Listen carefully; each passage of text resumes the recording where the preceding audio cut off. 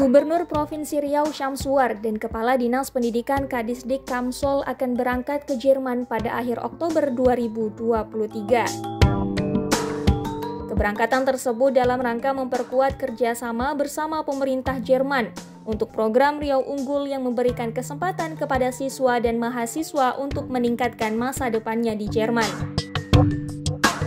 Menurut Kamsol, kerjasama antara pemerintah Provinsi Riau dan Jerman adalah dalam rangka menerapkan pendidikan berbasis AI di Riau.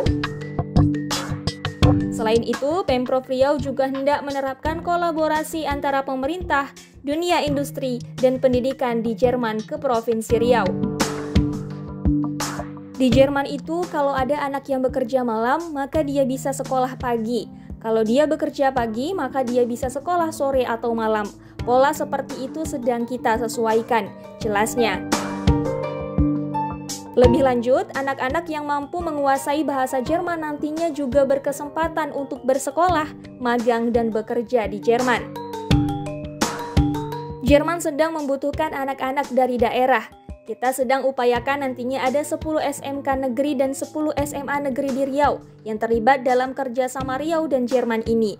Di masing-masing sekolah itu akan ada kelas program untuk menyiapkan anak-anak untuk mampu magang atau bekerja di Jerman. Jelasnya. Menurutnya, dengan program kerjasama ini, siswa memiliki kesempatan lebih besar untuk menata masa depannya. Pengalaman siswa dalam kolaborasi pendidikan ini juga akan meningkatkan kualitas siswa, sehingga berdaya saing tinggi di kemudian hari. Karena di Jerman itu pendidikannya bagus, disiplin, dan sebagainya. Jika anak-anak kita nanti dikirim ke sana, maka mereka akan terbiasa juga dengan pendidikan dan kedisiplinan yang tinggi pungkasnya.